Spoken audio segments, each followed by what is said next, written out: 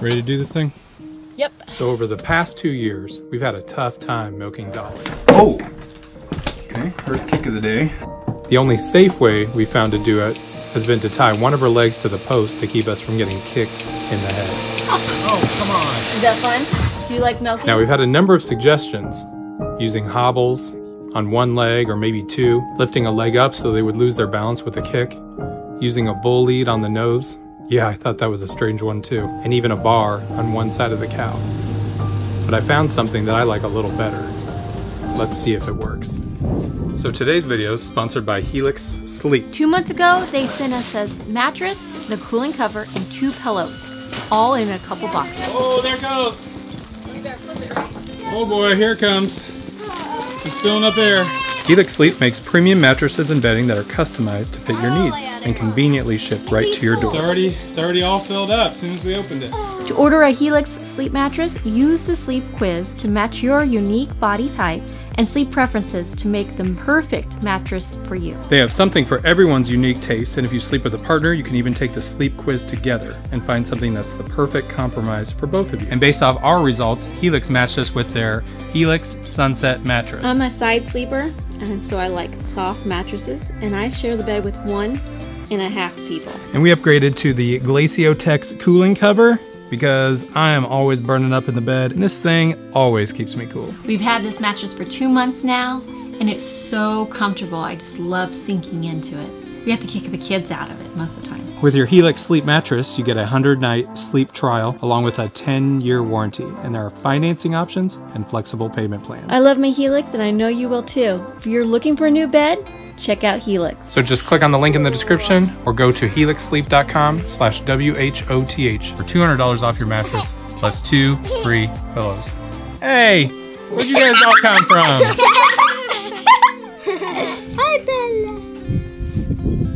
All right, so we're heading in to milk the cow. I want to show you the new tool that we got. This tool right here is called the Kow Kan't Kick. Some of you guys suggested hobbles, a little chain and thing that hook on the back of the legs. We really just don't want to put ourselves in that position where we're down by our legs. We've already been tying up one of her legs and it's a little scary getting it on and off. And so this one we were pretty excited about. Comes over top of Dolly, tightens up right here, squeezes in a little bit, and supposedly they can't kick or they don't want to kick with it on. So let's see if it works today.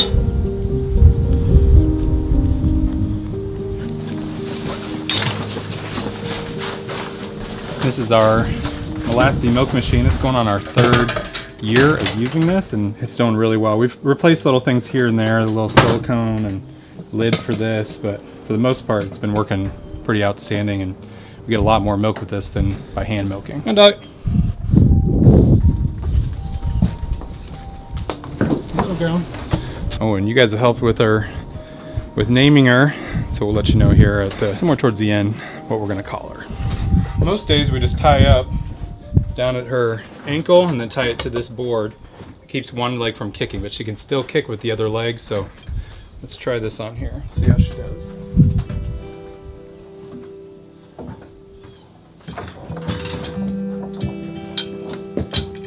Okay, so fit over nicely. I'm gonna crank this and that's gonna tighten up right around here. So right here. Do you need to move her legs before you do that, or?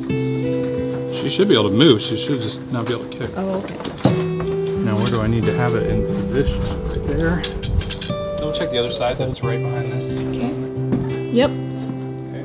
Right behind her leg. What I'm not sure about is how tight to get it. Think this will work? I don't know. Worth a shot. It's pushing in right there so she can't bring this leg forward too far, if at all. Really dirty? So dirty. Tell the cat that's on this one. It's the least full. So after bringing her in, we always use soapy water, clean off her teats as much as we possibly can. All the manure, mud, and then we have this iodine teat dip that we use. Sterilizes the teats. And then we wash that off with some more soapy water. So I get some milk out, stripping the milk, getting the milk flowing a little bit before we put the milker on.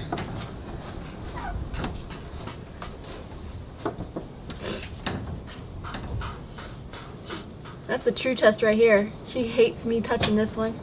So if she doesn't kick when I'm touching this one, means it's working. Now, when I put the milk machine on, she does all right usually, but by the end of it, she's already getting antsy and I think it starts to pinch on some of her teats and she'll start kicking to get it off because she's getting annoyed being in here. So let's see if we can get through this milk session.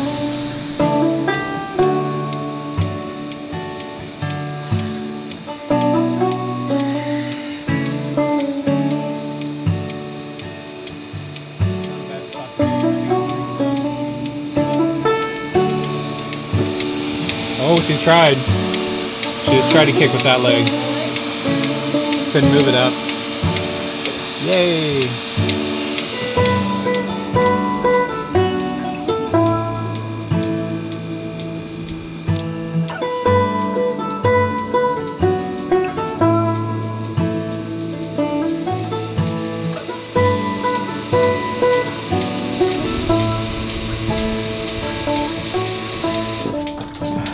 So how was that, Jake?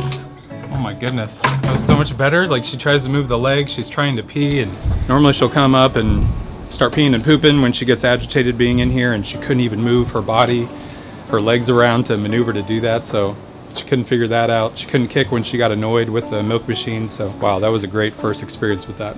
So there's one of these Kow Kan't Kick deals that you'll see that's cheaper that only covers one side. It goes from the upper part of the back and then down around the side. And it's cheaper, but I definitely think this one is worth it to get one that goes from the top, goes over each side, because that one's only gonna prevent one leg from kicking. This one prevent both. We have a problem with her on both sides, so this is gonna work out really great for us. So Kow Kan't Kick, it works. Now Becky's loosening it, Just lift it up. and then we can just lift it up once it's, you might have to go a little more, you'll see. Hang on. Watch out, don't get kicked.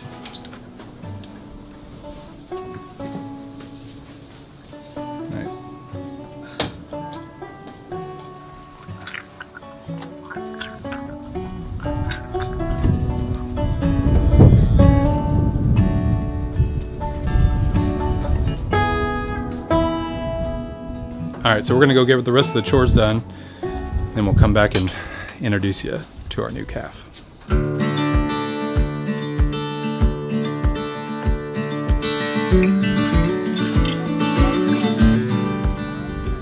So normally our peacock is over here. We- We're doing a little bit of a, we're doing a little project with him and hopefully have an update about that next week. So stay tuned for that. Right now we're doing all the feed. We've already come around with the water, so take care of all the birds after the cow's done.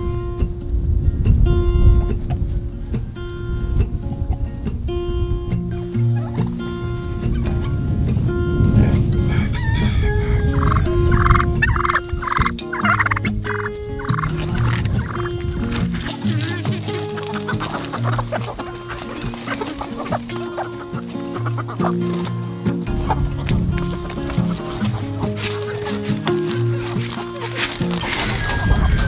got grub?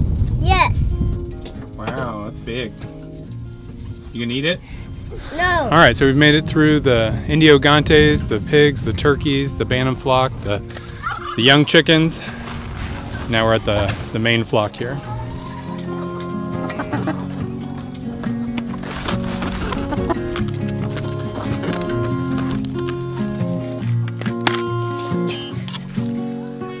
Pretty easy, huh? All right, your defense against the roosters. Let's go, buddy. Okay. Got your goggles on? Yes. All right, roosters won't hurt you, all right? Okay.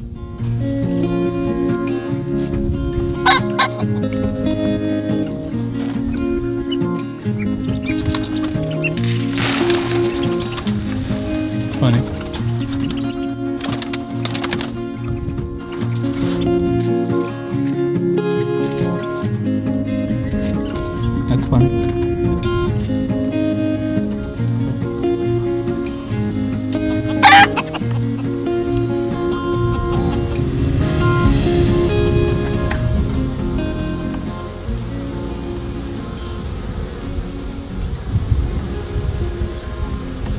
So it's 75 degrees on November 9th. This is pretty awesome, but it's gonna be freezing, I think, in a day or two. So last really good day for the bees to be out. So after we're done with our morning chores, our milking, Then we have to come in and sort out all the milk. And this takes a little while because we have so much of it to sort. We've got yesterday's milk. We've got our cream line right there, right there. And so we've got to take the cream out and then put the milk into smaller jars, easier for us to, to use it each day. And then here is all of our milk from today that we've got to pour into these jars after we clean them up. Today's milk, I'm gonna filter it.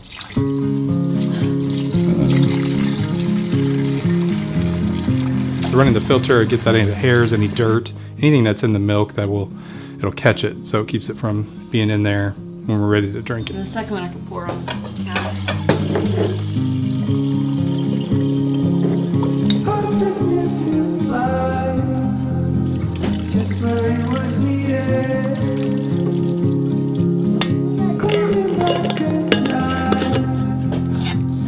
Date it and then we put it in the fridge to cool off. Now we're gonna separate the cream from the milk How are you gonna do that? with this. So we got a ladle and the cream separates from the milk as it sits so you could just scoop it right off the top. We have a cream separator but I find this just as easy, less things to clean, that's the biggest thing, and we don't have the space to put it out on the counter so this works just as well. I can't tell the cream like What do we use for our cream, Eli? Why do we separate it? butter, milk, or no, No. butter, yogurt. Me and Jake like our coffee, so we love coffee creamer. We can't have coffee without coffee creamer. We separate our cream so we can make coffee creamer, we make butter, we make ice cream. We don't mind the cream in the milk, but need the cream for that stuff. So.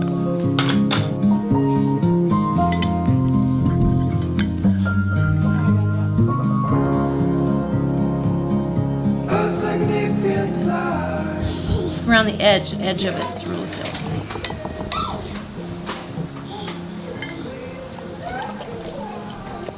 And then we pour it into just smaller jars so we can have my big gallon jars back and kids can handle the smaller ones better. This is our milk and cream from the last three days. So, we got a lot. So we got so many good recommendations from you guys on names. Of course, the most popular was probably Daisy because Dolly plus Maisie, but we thought that was going to be a little confusing. Confusing. And so we we like some of the other names. There was a, a Mitzi. There was a Rosie. We just can't do that one, even though Becky said she was very red Alpha red. at birth. We like that one, but she's got a relative named that, so that one's off the table. So Becky, why don't you introduce them to our new calf? So we went with Poppy. Meet our little calf, Poppy. She wants to be back with her mom right now, but it's all right. It's all right. It's a little poppy.